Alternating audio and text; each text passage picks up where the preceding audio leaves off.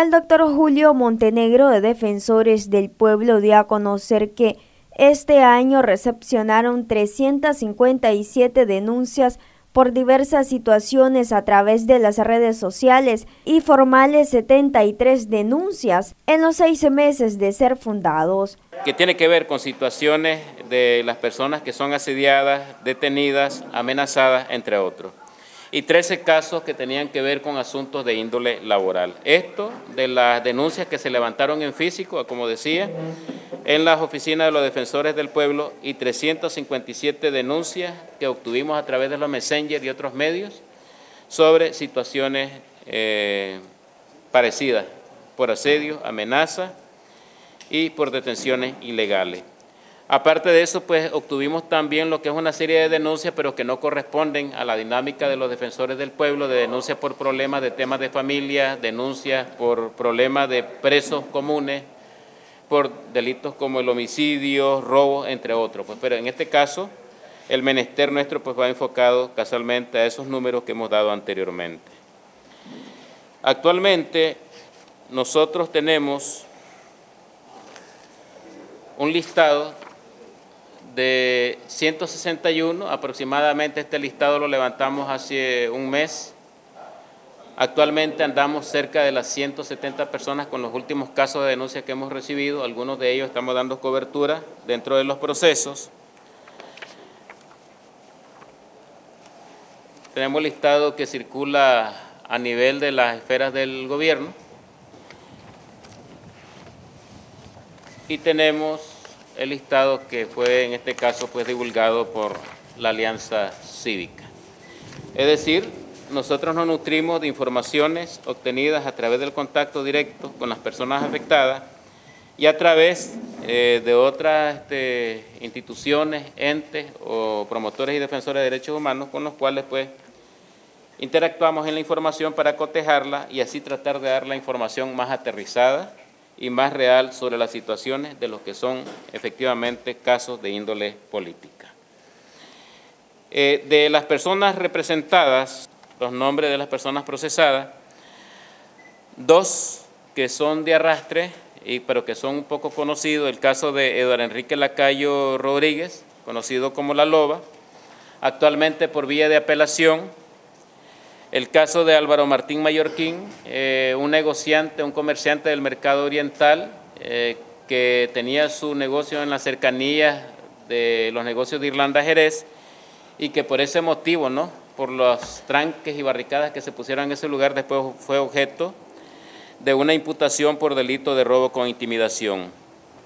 de los últimos casos por asunto de bombazos y de personas que han participado en las protestas cívicas, pero que se le adjudica en este caso supuestamente que han traficado con armas, han traficado con droga y que han participado en estos bombazos están Gabriel Renán Ramírez Somarriba, Denis Javier Palacios Hernández, Uriel José Pérez y Víctor Alfonso Pérez, Jaime de Jesús Romero, Bernardo José Ramos Galo, Ernesto Antonio Ramírez García, Wilfredo Brenes Domínguez, de los Aguadores a Pie, Marvin Samir López y Jordan Irene Lanza, de igual manera de los aguadores que andaban a pie, Ulises José Rivas y Jorge Antonio Medina Madrigal. Es decir, eso es de los últimos casos que nosotros estamos llevando adelante dentro de lo que son los procesos de audiencia preliminar, audiencia inicial y que para el mes de enero ya tenemos los comienzos de lo que son los juicios orales y públicos para algunos de estos casos. Finalmente, en cuanto a lo que han sido los procesos, quiero comunicar que para el día 20 de noviembre hemos introducido al Juzgado Noveno Distrito Penal de Juicios de Managua, a cargo del juez Edgar Altamirano, lo que es un escrito demandando se pronuncie sobre la aplicación o no de la amnistía en el caso de Miguel Mora, Lucía Pineda, Jackson Orozco eh, y Luis Galeano de Café con Voz, Jaime Arillano, el comentarista político, y hasta el momento no hemos recibido respuesta. Por su parte, el doctor José Antonio López dijo que este 2019 interpusieron dos recursos de amparo y uno de inconstitucionalidad. El primer recurso de amparo lo interpuso este servidor en contra de las reformas a la seguridad social en la que se subió el techo para los empresarios y los trabajadores. En dicho recurso nosotros hacemos referencia de toda la malversación que ha habido en, arcas del Instituto de Seguridad Social. Y más allá hacemos referencia de que es a la fecha y no se ha procesado a ninguna persona que ha tenido algún vínculo con los malos manejos o los fondos del Instituto de Seguridad Social. Cuando don Enrique Bolaño entrega el poder a don José Daniel Ortega, existían únicamente 2.500 trabajadores en el Instituto de Seguridad Social.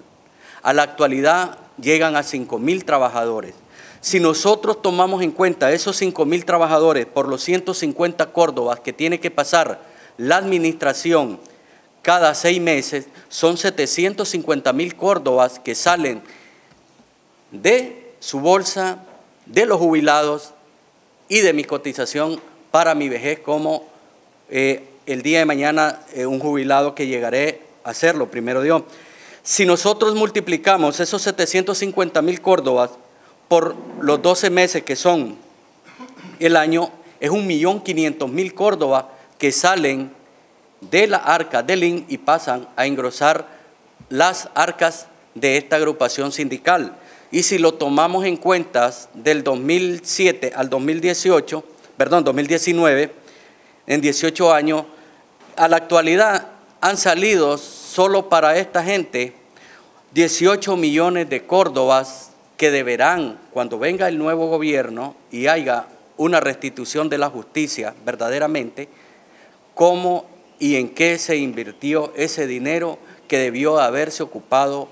para compra de medicamentos, para mejor atención de los pensionados del Instituto de Seguridad Social.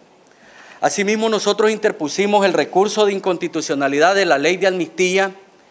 ley de amnistía que con el pasar del tiempo nos ha dado la razón las Naciones Unidas y ahorita la comunidad europea en su informe que acaba de tener hace poco, que habla que no tiene sentido ni razón de haberse hecho una ley de amnistía. Y ponemos el ejemplo cuando el doctor Montenegro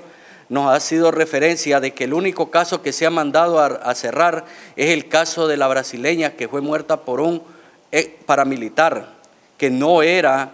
ni por cerca que estaba en el contexto y además que andaba con un arma de guerra que según la ley 510 está prohibida. El otro recurso de amparo que interpusimos fue contra la resolución que emitió el comandante de brigada Juan Emilio Barrante Rivas ¿verdad? que fue dictado el 15 de julio del año 2019 y fue publicado en la caseta 143 del martes del 30 de julio del 2019, en donde dicha resolución